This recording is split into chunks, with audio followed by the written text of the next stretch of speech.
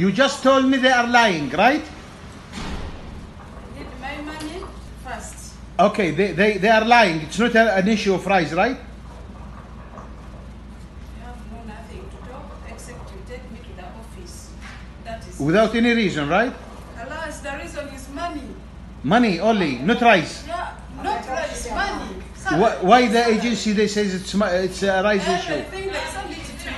They send it to you. Everything they send it to you on your phone. And they, they, even they talked with you, you told them that you give me the money and that yet you didn't give me my money. No, no, I give you your money. Which We have money? a proof here. Which money? We have the proof. The, the first month only. That is the list only. Yeah.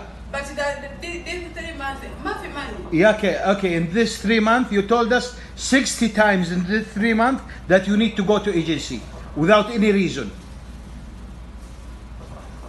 First time I, I, I was fighting with madam. Second time I was fighting, I'm fighting with you. Third- I don't want to end fight, please.